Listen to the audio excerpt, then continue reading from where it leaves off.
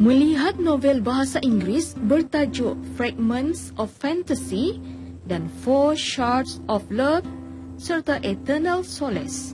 Sudah semestinya kita beranggapan bahawa ianya adalah hasil karya penulis dari golongan dewasa dan mempunyai pendidikan tertinggi di samping penguasaan bahasa Inggeris dengan baik. Jika dilihat muka depan novel ini, sudah tentu penulisnya mensasarkan pembaca dalam kalangan remaja. Akan tetapi novel yang sudah 200 unit dijual ini turut menarik minat pembaca pelbagai peringkat umur. Siapa sangka novel ini adalah hasil karya seorang penulis muda Hazri Halim sejak berumur 16 tahun lagi.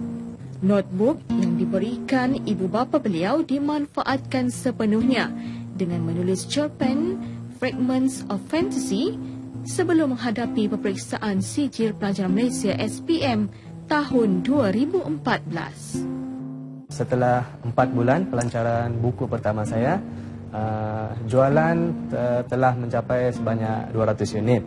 Uh, sambutan uh, amatlah baik, baik dan sasaran pasaran saya sebenarnya semua pun boleh uh, termasuk para para pensyarah dan golongan-golongan dewasa. Tapi saya lebih fokus kepada golongan-golongan remaja perempuan kerana sebahagian daripada mereka ini hati mereka ini mudah tersentuhlah dengan novel-novel cinta ini pada masa ini uh, perancangan untuk mengkomersialkan buku itu di kedai-kedai buku belum lagi sebab ianya berlaku terlalu pantas ya. Sebab gap antara setiap pengeluaran buku itu pun hanyalah sebulan demi sebulan begitu. Jadi uh, buat masa ini buku-buku ini boleh didapati di uh, perpustakaan UiTM ataupun boleh didapati di uh, office uh, PJI iaitu jaringan industri UiTM di tingkat 4 Menara Wibawa.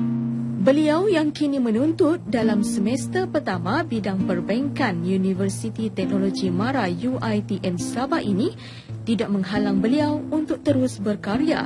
Malahan, jadual hariannya diatur dengan bijak sehingga tidak mengganggu pelajarannya.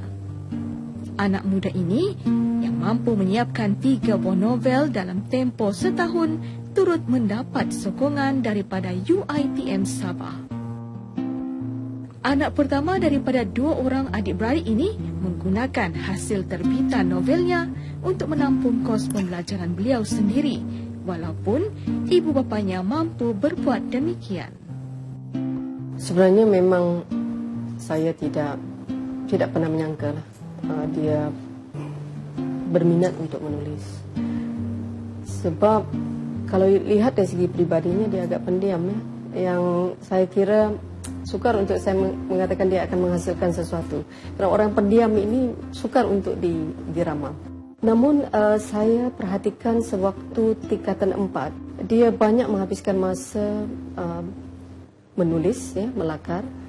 Dan lama kelamaan selepas daripada itu, saya melihat dia mula serius ya, menggunakan komputer itu. Dan akhirnya saya telah membuat checking Ternyata tidak ada lagi novel sebegini dan saya terus mengantar kepada editor. Dan sebulan selepas itu, saya diminta untuk menerbit. Bagi Hasri, beliau bercita-cita ingin menjadi seorang penulis novel yang disegani di peringkat antarabangsa dan berharap novelnya ini akan ditempatkan di perpustakaan di luar negara sebagai bahan bacaan para pelajar yang ingin memperbaiki penguasaan dalam bahasa Inggeris.